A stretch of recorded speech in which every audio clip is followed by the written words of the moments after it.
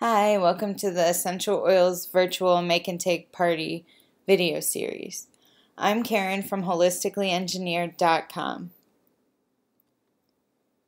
I have to start off by saying that I'm not a doctor and I cannot legally diagnose, treat, and or cure any disease.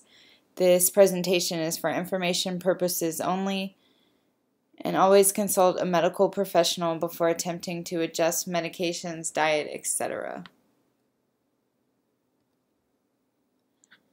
So throughout this video series, we'll be making lots of fun recipes that use essential oils. So you'll need a few things to start with. As far as essential oils go, the oils that come in the premium starter kit will be used throughout the video series. And these are known as the everyday oils and are great for getting started. In addition to the essential oils, you'll need a few other ingredients, and those are the juice of one lemon, one garlic clove, grated, half a teaspoon of sea salt, quarter of a teaspoon of black pepper, one teaspoon of finely chopped basil, and we'll be using the lemon essential oil, which is in the premium starter kit, as well as the basil essential oil, which is not in the premium starter kit but it has a lot of great uses. And lastly, we'll be using a half a cup of extra virgin olive oil. I store my salad dressing in a mason jar, so you want at least an 8 ounce glass jar.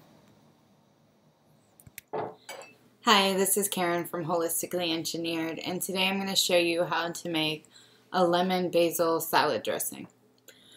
So I have a mason jar here and it's got the juice of one lemon.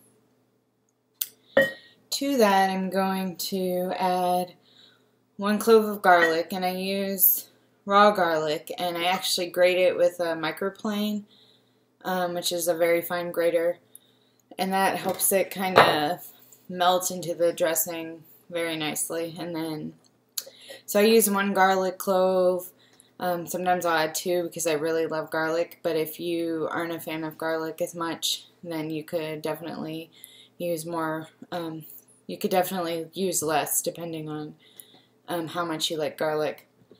I'm also adding, um, I use about a half teaspoon of salt and um, I use a sea salt. Um, but again, you could do salt to taste and also a quarter of a teaspoon of pepper, black pepper.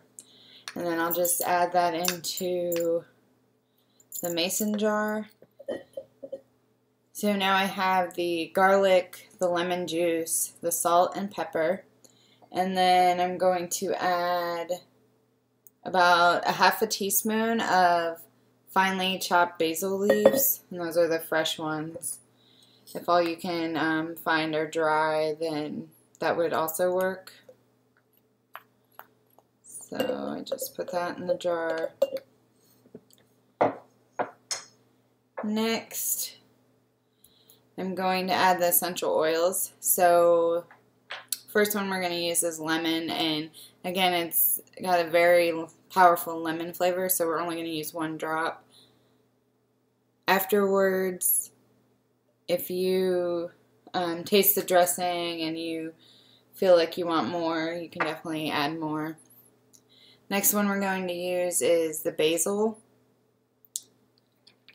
And again, one drop, but you could always add more.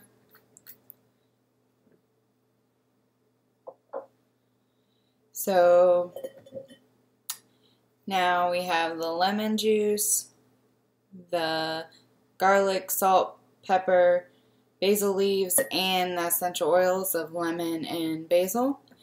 And then I like to add about a half a cup of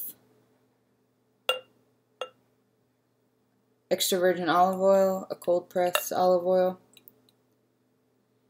I add that to the jar. And then I put the lid on the jar close it up tight, and then I shake the jar.